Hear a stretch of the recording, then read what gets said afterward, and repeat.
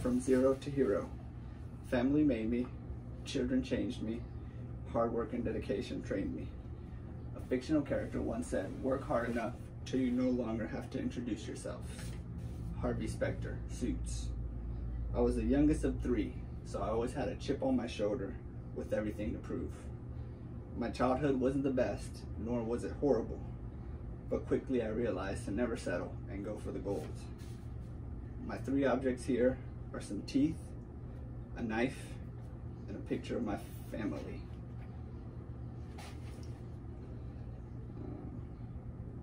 The knife to me represents the hard work of all the time I spent working in the kitchen.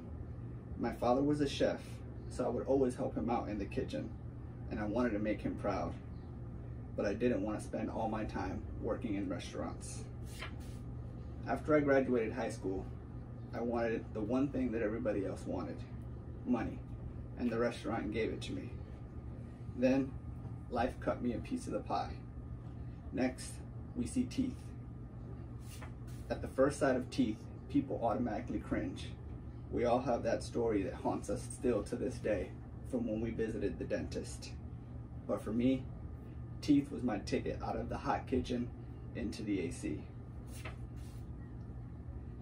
Next we have a picture of my family. Looking at my family reminds me of why I work so hard. It puts things in perspective for me and to never give up on my goals.